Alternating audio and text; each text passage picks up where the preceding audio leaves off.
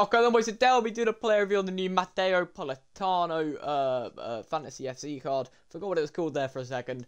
Um, but how these player analyses work, I don't know if I said player review there, but player analysis, how these work is I literally just study the card and then tell you how good it is. So let's jump straight into that then.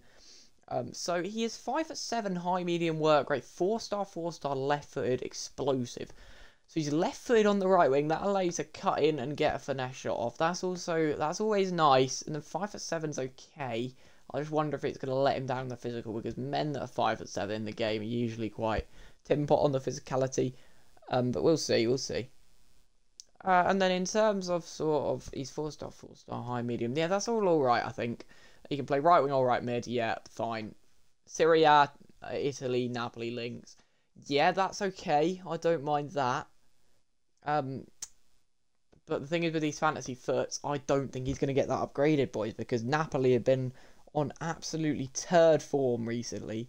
They've got a few. They got they got a simple game coming up against Cagliari, but then they've got Sassuolo, Juve, and Torino, which you know I I think seven points in those four, um, which you know would not get him two wins probably. Um, he probably make he might make three appearances. You don't know. He does he actually play? I think he does. I think he's a third person in that. Yeah, he is. He's a third person in that lineup for Napoli, so he will he will get that one upgrade, and he may get um the club score eleven goals. No way, absolutely no way, boys. This club cannot score goals for shit at the moment.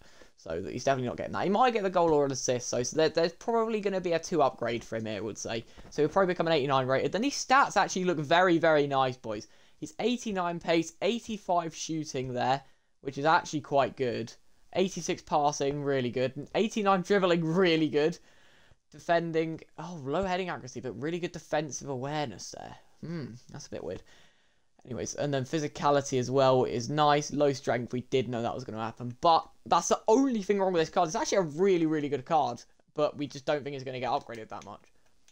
Um, so Trivela plus Relentless, First Touch, Trickster, Incisive Pass, Ping Pass, Whip Pass, and Finesse Shot. Okay, this is a really good card, boys. I would think about buying this.